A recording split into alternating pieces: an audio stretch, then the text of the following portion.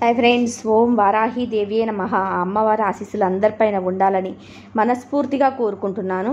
పూజలు వ్రతాలు లేకపోతే మంత్రాలు ఇవన్నీ ఏవి లేకుండా ఒక సింపుల్ టిప్ అనేది మీతో షేర్ చేసుకోబోతున్నాను ఫ్రెండ్స్.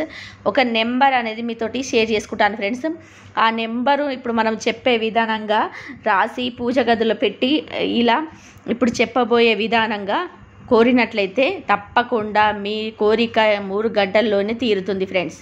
అది ఏంటి అనే నెంబర్ అనేది ఈ వీడియోలో అనేది చూడబోతున్నాం. ఎవరైతే వీడియోను స్కిప్ చేయకుండా చూడండి అప్పుడే మీకు మంచిగా అర్థమైపోతుంది. మళ్ళీ మళ్ళీ డౌట్స్ రాకుండా ఉంటాయన్నమాట.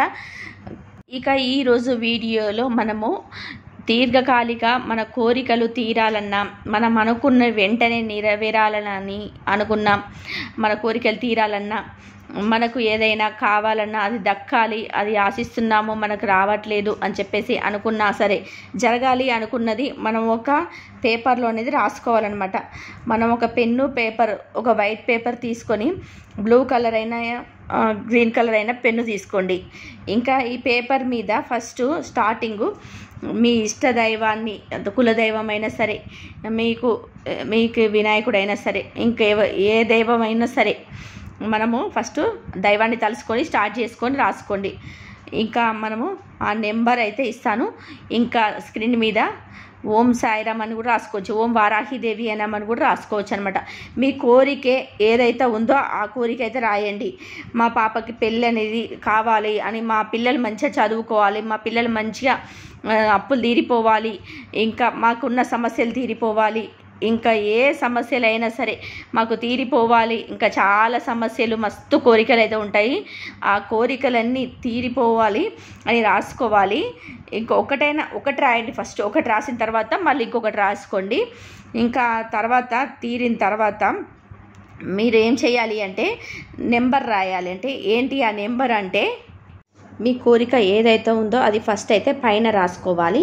రాసుకున్న తర్వాత ఫైవ్ వన్ నైన్ స్పేస్ ఇచ్చి కొంచెం సెవెన్ వన్ ఫోర్ ఎయిట్ ఒక పేపర్ మొత్తం ఫుల్గా ఎన్ని అనే రాసుకోవచ్చు. దానికి లెక్క అనేది అయితే ఏం లేదు. ఎన్ని నెంబర్స్ అయినా రాసుకోండి ఎంతసేపు అయినా రాసుకోండి. ఎన్ని నెంబర్స్ అయినా అంటే ఒక ఇన్ని అన్ని అని అంటే ఏం లేదు ఎన్ని నెంబర్స్ అయినా రాసుకోవచ్చు. ఇంకా అట్లా రాసుకున్న తర్వాత మీ ఇష్ట దైవం మీ కులదైవం ఎవరి దగ్గరైనా సరే ఈ పేపర్ మీద మనసారా కోరుకోండి. తప్పకుండా మీ మీరు మాకు మేము కోరుకున్న జరగాలి అని చెప్పేసి జరప జరిపించాలని చెప్పేసి మీ ఇష్టదైవాన్ని అయితే కోరుకోండి. మీరు రాసినంతసేపు మీరు పాజిటివ్గా మాకు ఇది జరుగుతుంది అని చెప్పేసి పాజిటివ్ థాట్ తోటి రాయండి. మాకు మా పిల్లలు మంచిగా చదువుకున్నారు. మాకు ఉద్యోగం వచ్చింది. మాకు అన్ని పనులైతే సమస్యలు అయితే తీరిపోయాయి అని చెప్పేసి ఒక మూడు గంటలోనే నెరవేరుతుంది మూడు రోజులలో నెరవేరుతుంది. ఇంకా మినిమం ఒక పదకొండు రోజులలోనే నెరవేరుతుంది ఫ్రెండ్స్.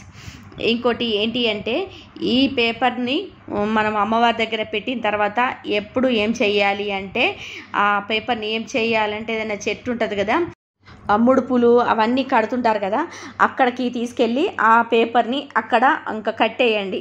లేకపోతే ఎక్కడన్నా గుళ్ళోనన్నా ఉండిలో వేసేయండి.